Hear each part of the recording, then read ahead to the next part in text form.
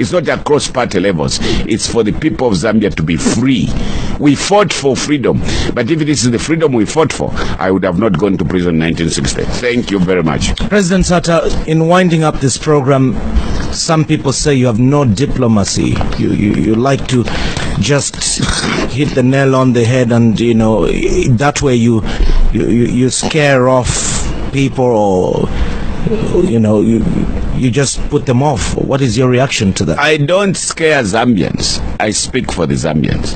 It Zambia is for the Zambians to enjoy, not for foreigners.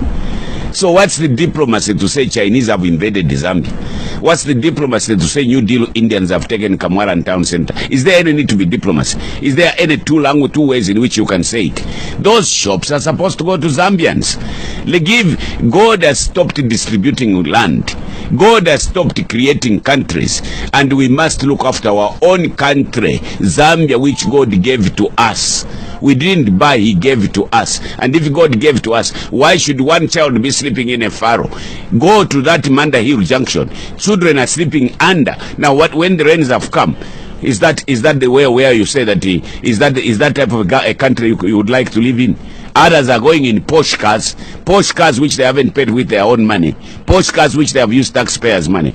Let's give equality to Zambians. We are not going to say every Zambian is going to be a billionaire, but to give them what they are worth. That's why I build Kajema houses. That's why I build Mezaf. That's why I improved Chawama and the World Bank. That's why I improved Kalingalinga, Kaunda Square Stage 1 and 2. That's why I build bank houses. And when I build bank houses, I knew I was not going to be governor forever. I sold to the occupants of bank houses. If I would have not sold them those houses, I think they would have been kicked out of those houses. Thank you very much. If you die today, how would you like the Zambian people to remember Zambians to remember me that I spoke for the people of Zambia. I have a talanta kwaliwo olwimbo kila muntu ne talanta yakwe. Italanta kulandira kwa balanda kulandira kwa batu abakwatotulimba kulandira kwa bantu abamwe ensonga iwe.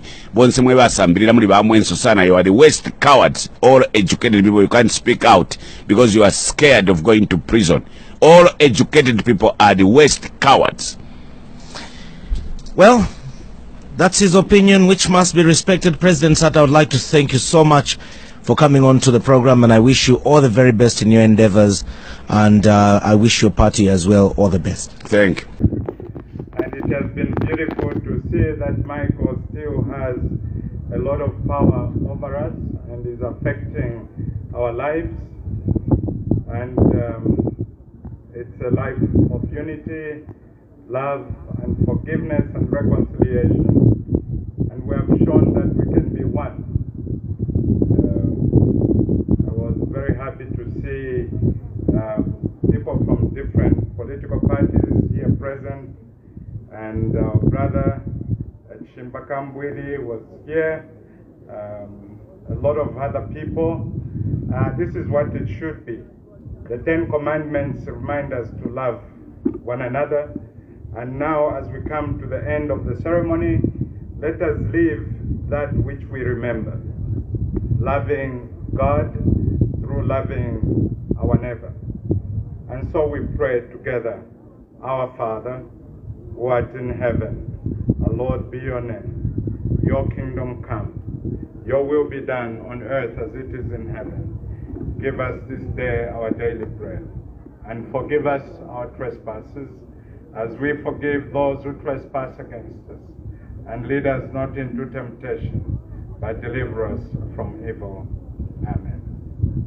Eternal rest grant unto him, O Lord, and let perpetual light shine upon him. May his soul and the souls of all the faithful departed, through the mercy of God,